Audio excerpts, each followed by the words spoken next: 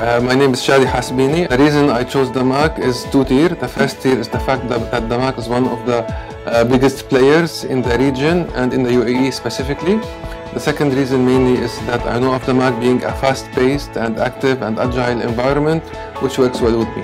DAMAC offers you uh, a unique work experience and it equips you with all the accountability, responsibility and uh, tools for you to succeed, excel and grow. What I took away most is to learn how to adapt quickly and become more agile and in sync.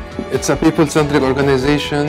It's a melting pot for people from different cultures and different experiences. Stay young, stay innovative, stay creative.